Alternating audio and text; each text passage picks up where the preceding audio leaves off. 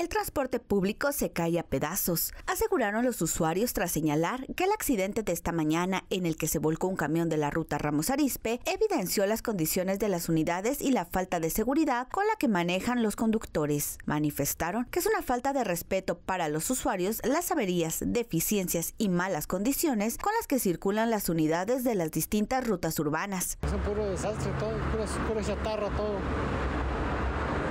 Es la verdad bien sucias, choferes hablando por teléfono.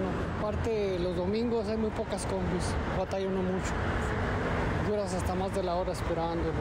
Si bien las malas condiciones físicas y mecánicas de las unidades son las principales quejas, los usuarios también lamentan el pésimo servicio que se les otorga. Ay, pues muy malo, malísimo. Sí, pues porque no, mire, por ejemplo, el camión de Ramos, si ahorita que están ustedes se va a detener, si no, no se detiene. Yo estoy asquerosamente decepcionada. Además, manifestaron que la falta de unidades alarga mucho la espera, por lo que hay días que tienen que aguardar hasta una hora para tomar un camión y que cuando pasa va repleto, incluso con gente en los escalones de entrada. Problemón, lo usaba de vez en cuando, pero pasan muy distanciados, bien llenos y dejan la gente ir esperando.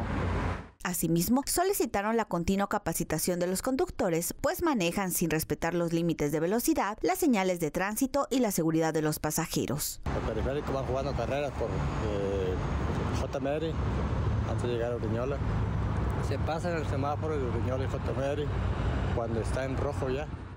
Ante esta realidad, los usuarios solicitaron a las autoridades competentes realizar inspecciones más rigurosas y establecer medidas para mejorar las condiciones del transporte público. Hacen un llamado a los responsables de las rutas a que supervisen el comportamiento de sus conductores y garanticen un servicio seguro, limpio y respetuoso para todos los usuarios.